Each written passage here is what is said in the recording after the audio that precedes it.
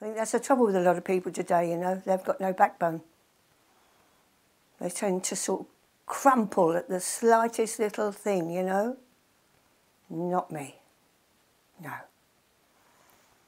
If you ever meet any of these um, waterways people, they'll tell you, oh, be careful of her, you know. Oh, she likes you, she likes you. If she doesn't, you've had it.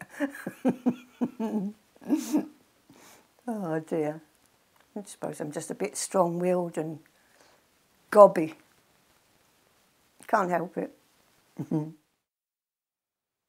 this is uh, Hertford Union Arm. I know it's nowhere near Hartford, but it's called that.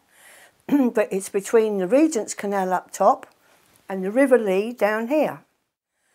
And um, over there, there was a wood yard, which right the way up from where we are here, right the way to the bridge, Gunmaker's Bridge, next bridge up. And they used to import timber, all sorts of exotic types, and there was kilns where it was all dried and what's name. It was a busy place. There was 15 men on this section. 15. All, and all sort of, their depot was Old Ford, you know, uh, on the Regents, just up top there. And they all had to be in sharp. And if you came in late, you're five, ten minutes late, you can go home. Won't let you work. All for £7 a week. They were quite um, quite strict. My hubby got the uh, foreman's job, you know. Good man, good man. And um, oh, there was all sorts going on. Then they had stop what they call stoppages on the canal, which was to repair the gates, and they had to drain the canal, the lock, get the water out, so as they get in and clean it and you know, do things, you'd be surprised. They did sort of maintenance as well as the moving barges and things. They, uh, they had their own chippies, carpenters, uh, their own plumbers, uh, their own brickies, their own electricians. They had the workforce of their own, you know. Good. It was a good, I think it was a good concern, you know.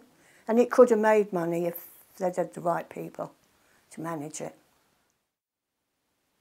there was a lock keeper at every lock and it was their job to see everything went smoothly through as regards traffic, commercial or otherwise, you know.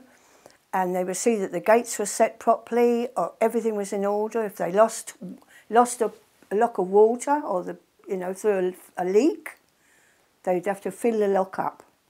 And then perhaps they may have to, if that took a lot of water out of, say, that pond, call them ponds, pond up there, they'd have to phone up and say, would you please get somebody to run a drop of water? I'm so many inches short. My second husband knew to the inch how much everything held. Everything, lock and the ponds, everything. Even I picked it up and these last, ten, he's been gone 10 years now, um, I sort of was sort of semi lock keeper, I suppose. I, a, chap used to come in in the mornings. Colin is a nice chap. That's him up there. And he'd, um, I'd ring him and say, Colin, you want two foot. That middle pond is right down, you know. So he'd know before he came in. And uh, that's how it was. And they, they, they looked after the gates, they cleared the gates. If there was any rubbish, they had rakes and things to rake it. You'd be surprised what they used to have to do, you know, and give a hand when anybody came through. Yeah, and it was a lock keeper at every lock.